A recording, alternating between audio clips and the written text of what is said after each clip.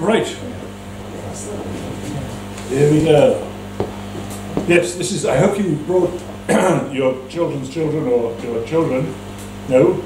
Okay, well, that's what Stephen Hawking thinks. What now appears the paradoxes of quantum theory will seem as just common sense to our children's children. I thought I wouldn't wait. Um, so, uh, the other day, I was uh, browsing through YouTube, thinking about quantum physics, as you do, uh, and came across a new, at least new to me, bit on uh, the double slit experiment, in which uh, Professor Jim Al-Khalili promised to explain it. Uh, he, of course, did no such thing, uh, but he did describe it very well, and he said something that caught my interest in the context of the Hawking quote that was up there. Uh, one thing led to another, and here we all are, you unwittingly, I on purpose. Uh, how many of you already know of the double slit experiment? Oh, good. So you will have the advantage. Um, okay, well, all right, we'll, we'll, we'll nip through it as we go. Um, the double slit experiment, if you don't already know, was hailed by Richard Feynman, who you also may not know, uh, as the central, indeed only, mystery of quantum physics. He meant only in the sense that if you could understand it, then you could understand all of quantum theory. He also famously said that no one understood quantum theory, including him, so don't get your hopes up. uh, Richard Feynman was the famous bongo playing, showgirl sketching, mildly philandering uh, key mind behind quantum electrodynamics. He didn't like the name, but he loved the initials. Um, and most importantly, he discovered and developed what he called the sum over histories, what we now call path integral technique for calculating the probabilities that define quantum behavior. We'll go into that in a bit once you've had time to warm up. but first, a little background. There's always been a question among some people, perhaps not you, uh, as to whether light travels in waves or is made up of particles. Newton, Isaac Newton, just knew it was particles, corpuscles he called them, and no one argued on anything actually, but this too. Uh, and that's how it stayed for a couple of hundred years until at the very beginning of the 19th century, Thomas Young, known as the last man who knew everything, thought he would settle the issue with an experiment, the double slit experiment. It had dawned on him that if light came in waves, then they would ripple. And if they came from two sources, the ripples would interfere with each other, just as they do on duck ponds, so he would be able to see it. How do you get light to come from two sources? You let it in from one source and then split it, whence the two slits. It's clever, no? Anyway, this is what he got. It's called an interference pattern. It's what happens when the peaks and troughs of waves accentuate or cancel each other out. Uh, if it looks a little bit fuzzy, that's because his light box was really small, so one eyeball at a time small. They're much bigger now. So that settled that for another hundred or so years until 1905, when Einstein came up with the idea of photons and quanta, and we're back to particles. The resulting confusion is known as wave-particle duality, or as Einstein put it, we have two contradictory pictures of reality. Uh, separately, neither of them fully explains the phenomena of light, but together they do. And the double slit experiment comes back into its own. Al-Khalili's setup is essentially the same as, the, as Young's, a single light source split into two with a screen to display the result. This works perfectly for demonstrating wave-like interference patterns, if that's what you want to do. There is one important difference, however, between other experimenters and Al-Khalili when it comes to discussing particle-like behavior, where most people simply turn down the intensity of the light source until it releases only one photon at a time, Professor Jim uses atoms from an atom gun. Hmm. I have no idea where you get an atom gun. Um, but one thing we do know about atoms is you can't split them, not with impunity. As particles, atoms can only go through one slit or the other, so cannot interfere with each other. Which means the waveform has to be a real wave. And there's the mystery. The first time we see the gun, uh, he's taped over the top slit. And we can clearly see particles on the screen behind, slightly scattered, but perhaps normal for atoms. Who knows? The next time, when the second slit is also open, uh, the, we see the particles build up in an interference pattern, just like waves, even when the atoms are sent through one at a time. So when there are two slits, not just one, each atom must know its place and go there. Now just using the word know is a sign that we're in some trouble The professor's solution, check to see how many go through which slit and where they end up. Turns out,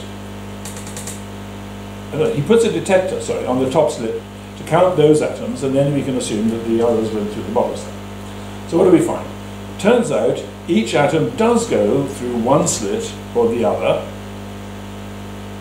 Sorry, there's the detector, and there it is, right? The atoms have meant no, no interference pattern.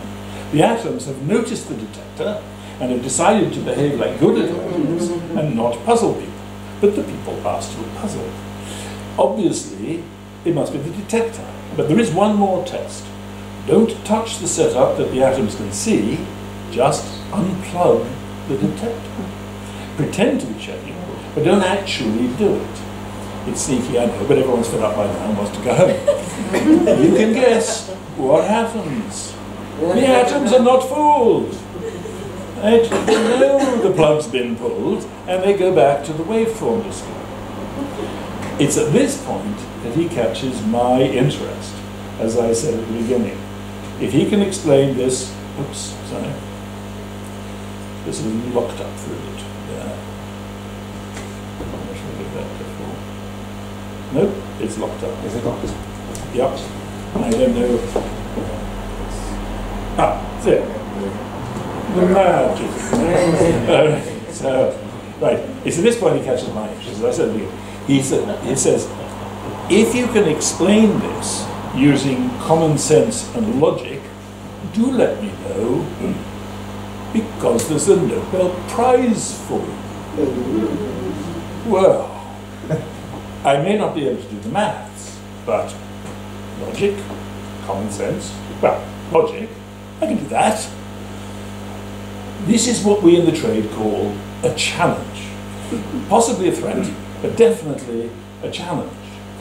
One small warning though, the logical explanation is actually quite dull. It can't be helped, that's logical. Okay, but first, a little background. To understand what's going on here, you need to know a couple of things about time. Nothing drastically different from what you already know, just a bit more specific in parts. Let's start with stuff you already know. Time comes in three flavors, past, present, and future, or to put them in their correct sequence, future, present, and past. Who here thinks the uh, past comes before the future? Nobody. Oh, well, that's excellent. That's excellent. Lots of people do.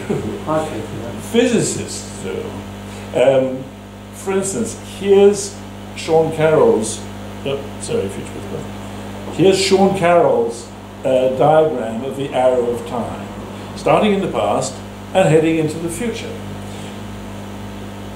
It could be the arrow of us, I suppose, uh, but actually it's just time flowing in the other direction that makes us think that that's the direction we're going.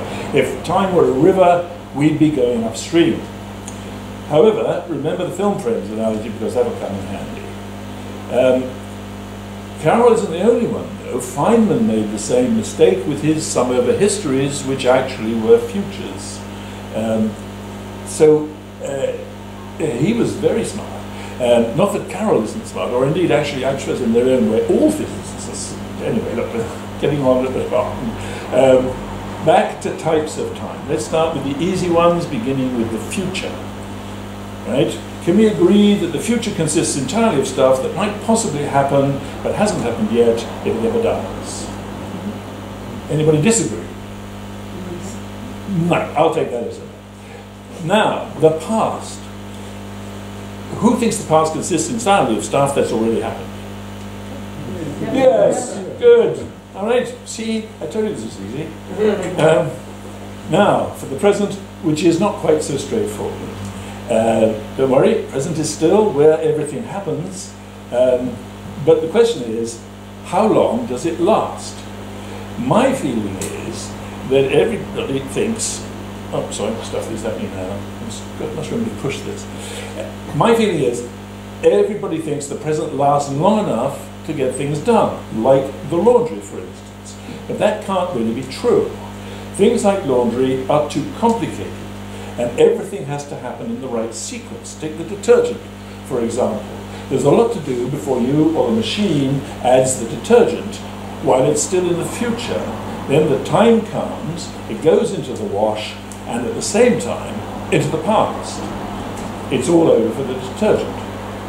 It's too specific. I've now worried you about laundry. Um, let's, let's think of something else. What about wiggliness? Is there wiggliness in our future? It's possible, even probable. And yes, here it is. Eh? Boom, into the past.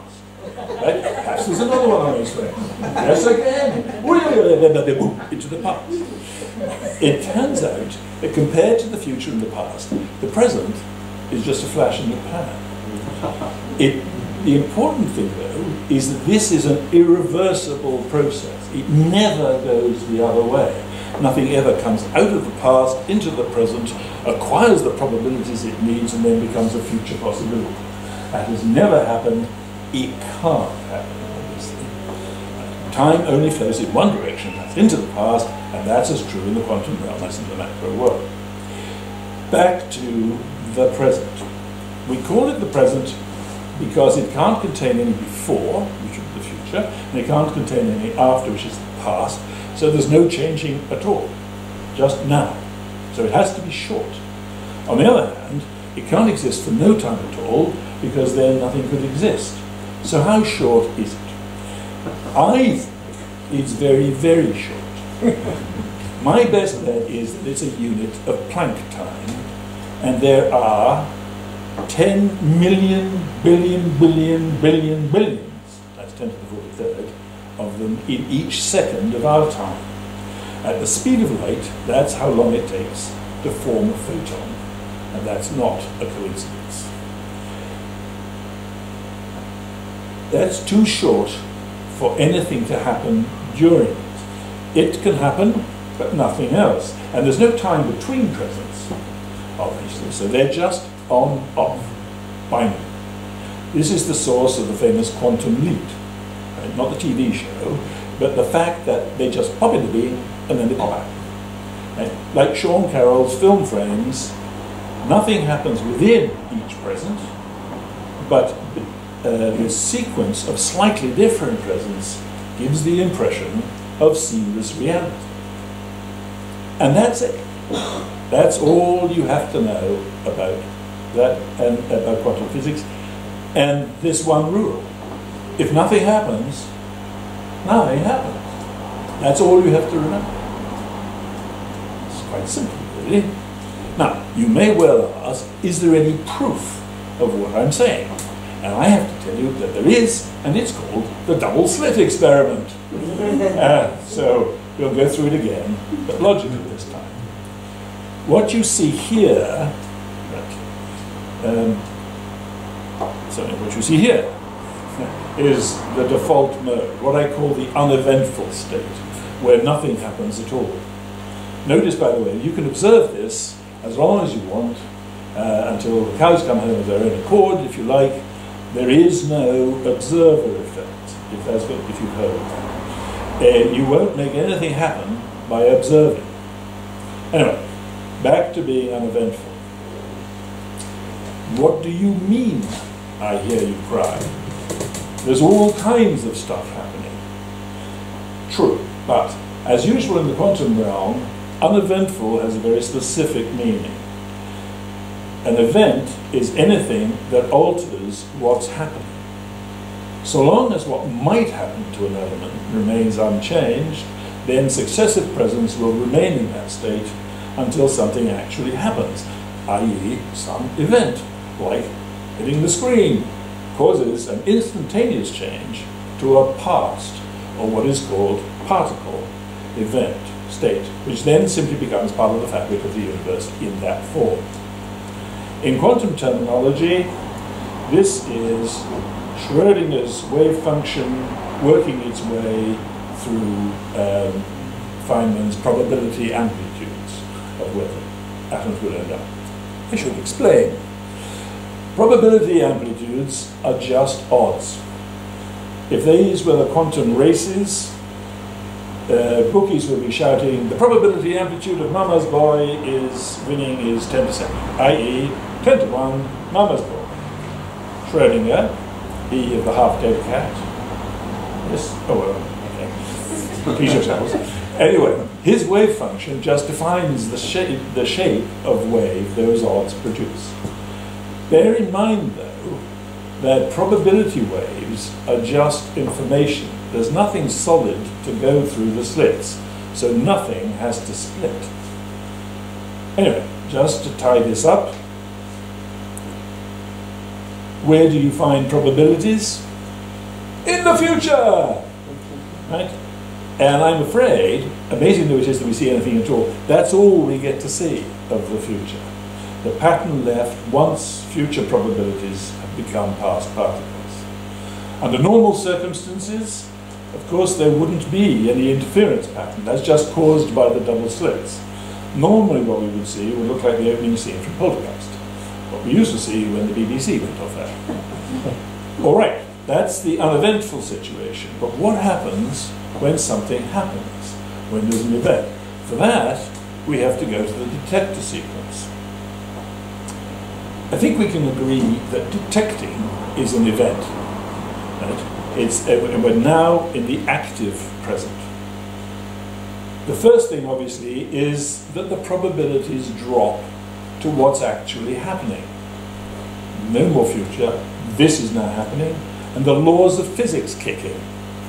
This is known in the trade as probability wave function collapse, and nobody knows what causes it, except me, and all of you now. the past process starts here. However, that doesn't mean that everything stops.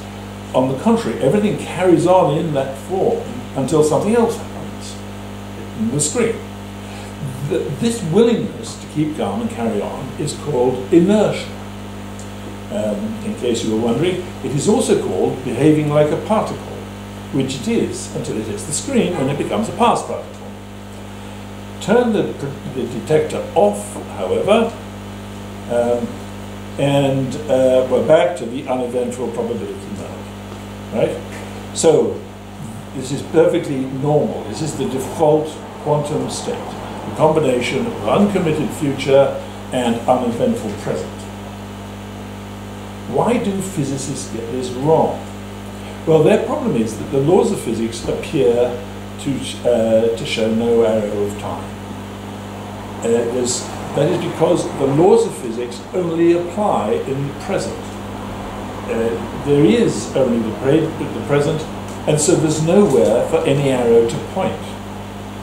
The laws are implicit in the future, active in the present, and their effects, the past particles, form the fabric of the universe. I call this the Clapham interpretation, along after the man in the Clapham omnibus. Along with the double slit experiment, it resolves a number of apparent paradoxes in quantum mechanics, among them the observer effect, Schrodinger's cat, the EPR paradox, the multiverse, the block universe, and the arrow of time, as I've said. It also provides a basis for a quantum theory of gravity in the form of loop quantum gravity, uh, with obvious implications for string theory, brane theory, and a holographic universe. It has a nice gut feel to it. That's GUT, Grand Unified Theory. Mind. So shall I give, get in touch with Al-Khalili? Yeah. Yeah, right? Simple, isn't it? It's all very simple, all easily explained. Okay, And that's it. that's it.